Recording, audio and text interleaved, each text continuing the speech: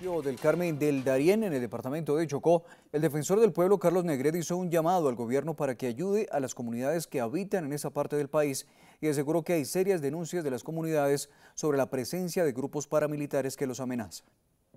Hacemos un llamado al gobierno nacional, al gobierno nacional para que mire a esta zona de el Chocó y del Atrato.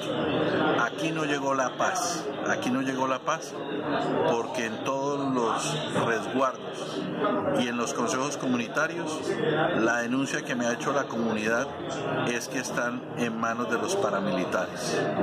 Próximamente enviaremos las comunicaciones respectivas para que la Armada, la Policía Nacional y el Ejército le den las garantías de seguridad que requiere esta comunidad.